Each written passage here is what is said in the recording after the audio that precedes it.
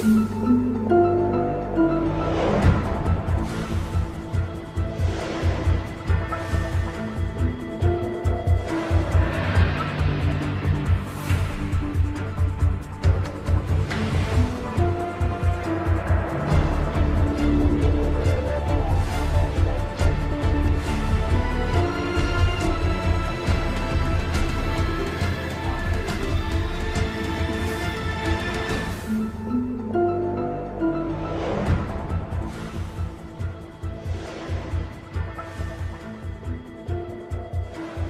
This is Ms. Scoggins, so I am the biomedical teacher here at the high school, and we're just going to kind of run through some of the stuff you could possibly do if you did the biomedical pathway. Um, so first, when you first come into the class um, as a sophomore most of the time, um, you're introduced with a crime scene, and um, throughout the whole first unit, we are trying to figure out what happened to our victim. And during this time, you're going to be analyzing different pieces of evidence. So we'll look at blood evidence, um, analyze hairs, fingerprints, DNA, different stuff like that. So if you're interested um, in forensic science, the whole first unit of this class is forensic science. Um, we'll test some unknown substances to try to figure out what that is. Um, so that would be dealing with forensic toxicology. Um, once we've kind of analyzed the crime scene, we then move on to autopsies. Um, and here I have some of my lovely hearts. So we would look at these hearts and we're trying to figure out if what happened to our victim was natural causes or foul play, so like a homicide or murder. Um, and so we need to look at our victim's heart to determine if it was normal or if there's something wrong with it. So that's what these hearts are for. These are actually abnormal hearts, and we would compare normal hearts. Um, and that's kind of what goes on in the first unit. Then later on, we get to play with some cool toys. This is actually our um, controlled bleeding kit. Now, if some of my past students watch this, they're going to be a little upset because the curriculum was changed and this was added in, so they didn't get to do this. This is new stuff. Um, but this simulates a bleeding arm. These are our blood vessels. Um, and basically what you have to do is correctly pack and do first aid on the wound to stop the bleeding. Um, so this is like real life experience that you could use anytime if you were ever um, at the scene of an accident or whatever. Um, and then you'll also learn how to use a tourniquet, which is this part. Um, something else we do, if you're interested, this is going back to some of the medical stuff. Um, you'll learn how to take blood pressure. Um, also how to use some cool medical equipment that you've probably seen um, in the hospital. So this is one of the finger clamps. Um, this one actually tells your oxygen saturation levels, um, which is pretty cool. Later on, we then get into um, some genetics. So how things are inherited from mother to child, father to child, genetic diseases. You'll look at some of the, these are really cool. Um, so these are the chromosome boards of fictitious patients. So these are case studies and you have to analyze these to figure out what's going on. So right now it probably looks like Chinese, um, but you'll learn how to read these and actually make sense of it, which is a pretty cool accomplishment. Um, so that's kind of part of the first class. Um, and then, oh, also, um, if you look in the back back here, we just got these. Again, this is new, so I'm sorry to my past students. Um, but this is actually a phlebotomy um, kit. It's a simulation, so you'll actually learn um, some phlebotomy skills, which is drawing blood, dealing with blood, taking blood samples.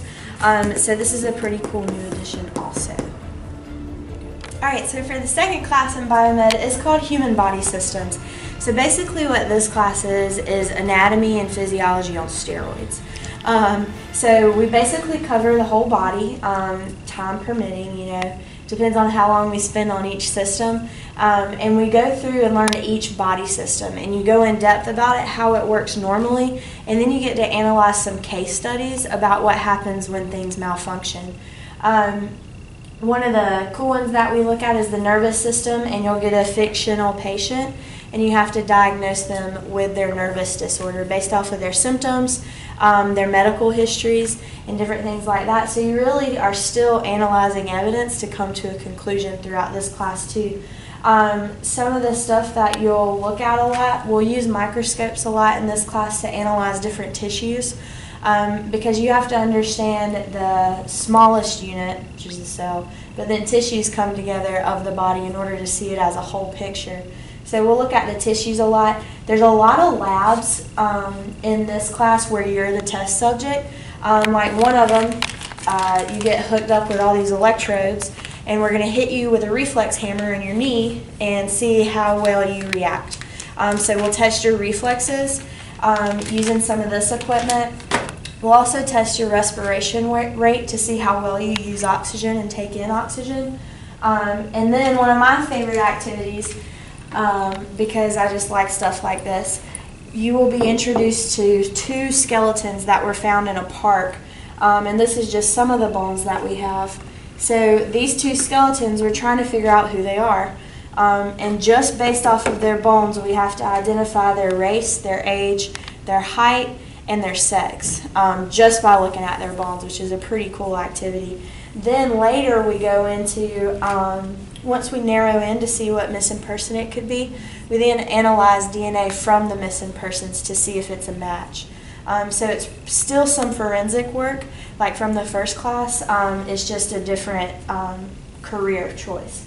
Also in the class, you will become best friends with one of these. Um, if you talk to some people in the past class, they'll tell you that you get used to these a lot. These will become kind of like your kids. And basically what we do with these is throughout the class when we go through different body systems, um, you'll add the body systems using clay. So if you like to work with your hands and you like art, um, this is going to be a great activity for you. So like during the nervous system, they'll use different colored clay to put in the brain um, in the skull cavity up here. And then you get to pick like eye color if you want it to be a male or a female, and you get to name him. Eventually, he'll have um, a digestive system muscles, if we get that far, um, blood vessels, his brain, he'll have some muscles on his face. At some points they look kind of creepy, but they're pretty cool. Um, and then one of my favorite things too in this second class is dissections. Um, so instead of me just showing you pictures of stuff, so like here's a brain, here's an eyeball, um, you actually get to touch it, uh, cut it open, see what it looks like, identify all the parts. This is not a human brain, so don't think your brain is this small. Um, but two of the dissections that you do in this class is of an eye and of a brain. Um, and the eye is actually one of my favorite dissections just because the eye is really complicated and people. Finally, we have our last class, which is probably one of my favorite classes. Um, it's called Medical Interventions and you'll take this either your junior or senior year. Um, and the reason I like this so much is it's very uh, informative and puts you in the place of a lot of professionals today. Um, so you take on the role of a lot of different jobs and you have to learn how to talk to patients. Um, you'll kind of pretend that I'm your patient or that your fellow classmates are your patient when you're presenting cases to them. So you really have to learn how to talk to people um, how to present bad news without sounding like the world is ending. Um, because that's not how you want to come across to your patient um, when you're talking to them. One of the first things that we do, um, we study a breakout at a local university. Um, and basically, all these people are getting sick, and we're trying to figure out what it is. Um, so, kind of fitting for the times, you know, um, since we're in this pandemic. It's not a pandemic, it's just localized to the university, though.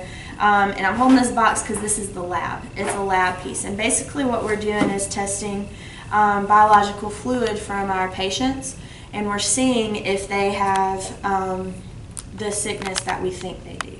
Um, I can't give a lot of information because I don't know who's watching this, so I don't want to give away what it actually is. Um, but this lab in particular, I know um, most people don't get to do until college and later in their college years, so it's really cool. Um, something else that we talk a lot about, which is going to be this little box, is cancer.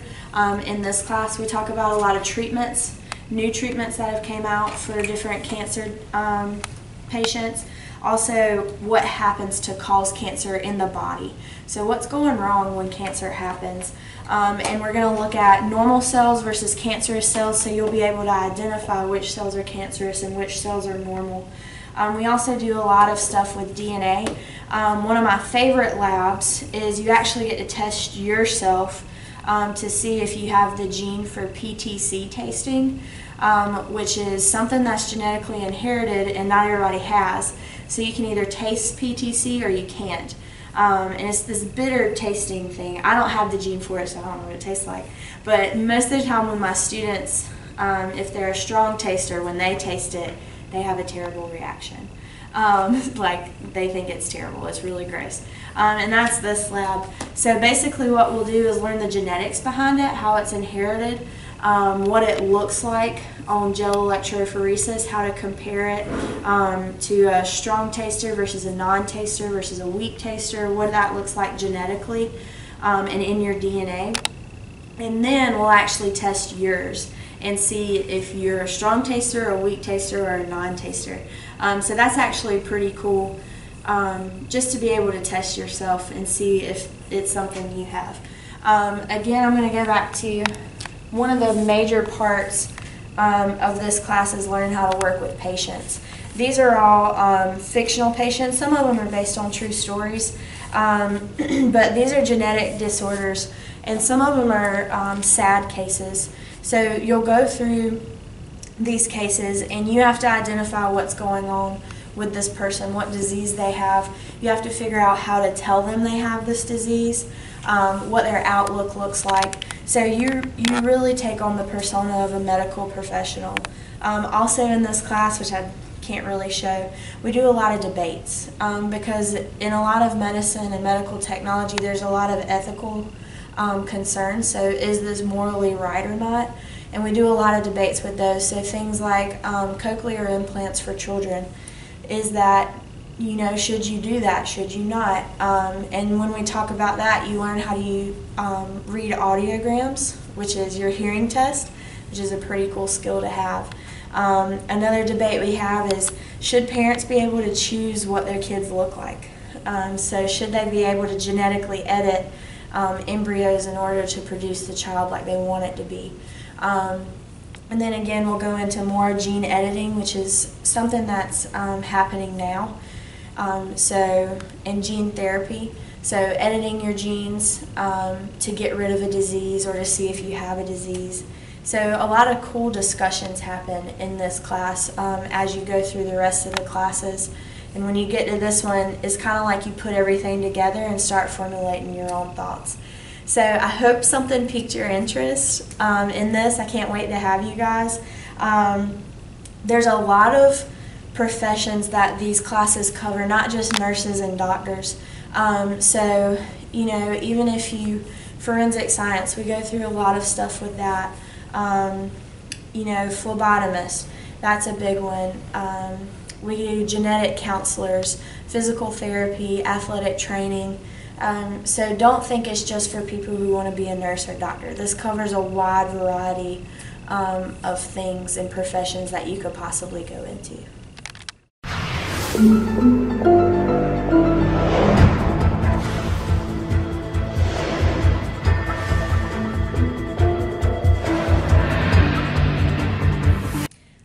something, well, several things that I really love about teaching these classes, and I really nerd out about a lot of the stuff that I teach because I just love it so much. I love science, is it's so hands on.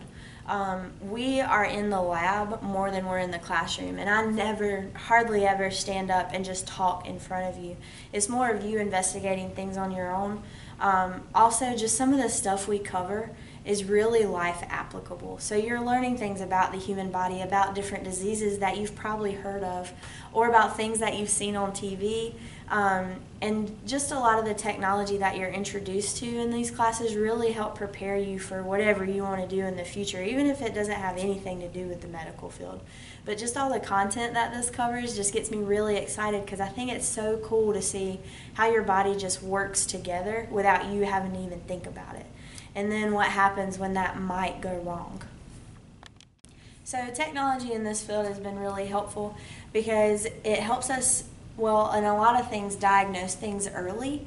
Um, so in the medical field, so there's a lot of new technologies that gives you a super early diagnosis that then allows you to start treatment way earlier. Um, also, all the technology we have that can study the human body on a more detailed level has given us a lot of cool information about how the body works and what happens when it malfunctions.